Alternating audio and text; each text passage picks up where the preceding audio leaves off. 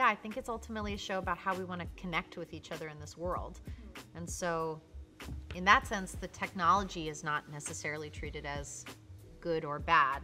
It's the vessel through which we find ourselves communicating, particularly during a pandemic. Um, but the show really asks the question of the characters and of us like, how do you want to be present with each other?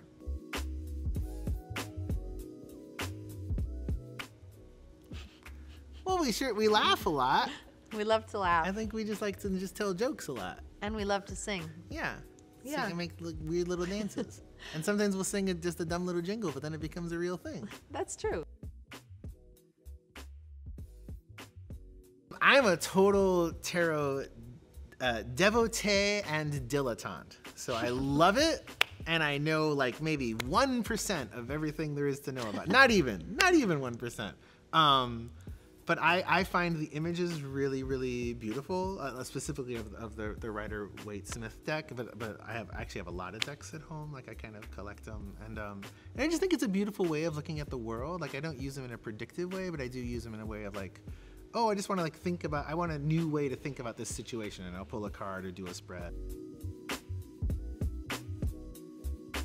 I think once I realized that the show was about addiction, um, just AA meetings became just a really uh, central kind of uh, guiding principle for how the show would be structured and just what the show would look like. That's also kind of how it became a chamber choir musical because it felt like it wanted to be about these humans coming together and being really re- vulnerable with each other. So it's like there couldn't be a band, you know? It's like they, they, they had to be the people supporting each other and there couldn't be external people supporting them too.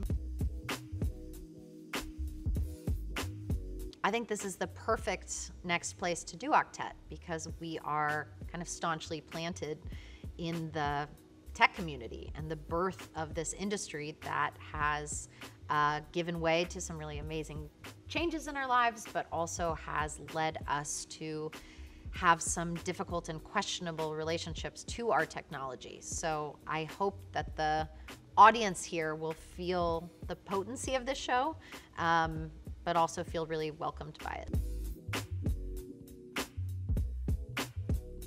No, nothing good, I don't think. I was gonna say That's why it's skim reading Skim or reading. Um, hot takes.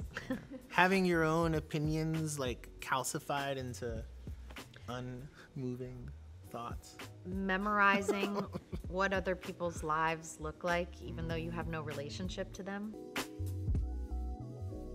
Enjoy. Well, I like this Wordle.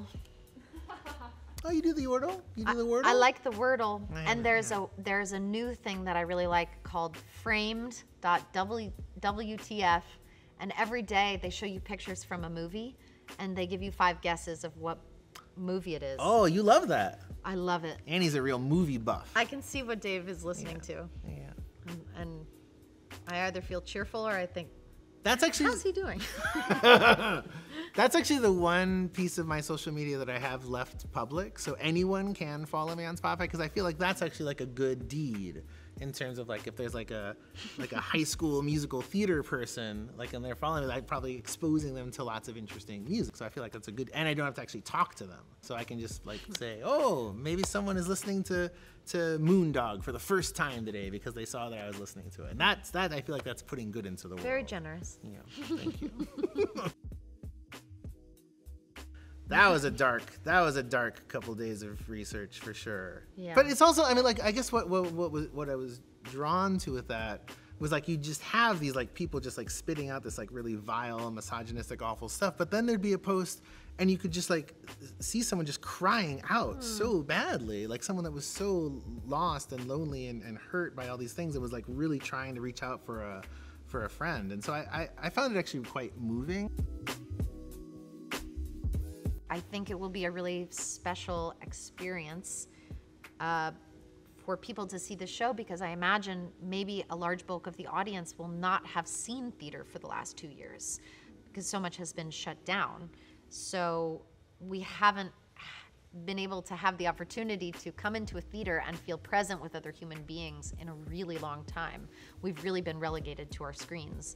So my hope is that folks can come and see the show and let the meeting and the, the music hit them as it will, but also just feel the joy and the pleasure of being in an audience again. We're very excited for people in this community to come see our show and have another chance to to present this beautiful, strange new musical.